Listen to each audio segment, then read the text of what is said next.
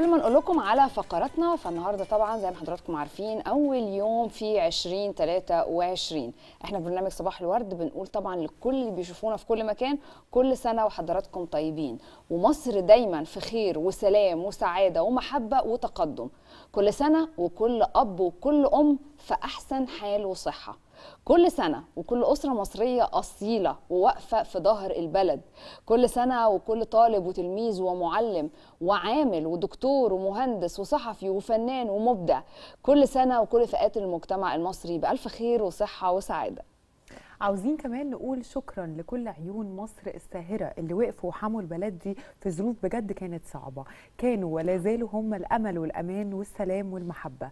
كل سنة وجيشنا وشرطتنا أبطال صامدين وقادرين يحموا بلدنا من كل المخاطر. بنقول لهم طبعا إيدينا في ايديكم كل واحد من مكانه عشان بلدنا الحبيبة.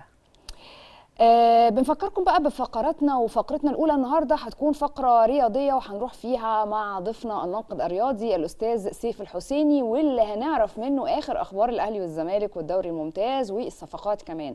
وهيكون في مباراتين مهمين بكرة ما بين الزمالك وأسوان والأهلي وبيراميدز. هنعرف منه تفاصيل عنهم انتظرونا. أما فقرتنا الثانية فهتكون فقرة غنائية هنواصل فيها الاحتفال معاكم بقدوم العام الجديد 2023 واللي النهاردة أول أيامه هيكون معانا المطرب الجميل أحمد معتز اللي هنسمع معاه بعض الأغاني والطرب وهتكون فقرة لطيفة وخفيفة استنوها أحمد وفرقته كانوا قاعدين بقى في ال في ال في الصبح بقى آه. بيتمرنوا بصوا لو ما كملتوش معانا الحلقة هيفوتكم كتير لأن كتير. صوته تحفة أغانيه جميلة ده وهنستمتع. كده بأغاني حلوة وط- وطبعا الطاقة بتاعت الفن بداية السنة بقى الجديدة آه في بداية السنة نفرفش صحيح آه. يعني حتى إحنا كل الناس بقى اللي كانت بتحتفل من امبارح هتكمل احتفالات معانا في صباح الورد بالظبط. واللي ما احتفلش إحنا معوضينكم بقى بح- باحتفالات النهارده في الحلقة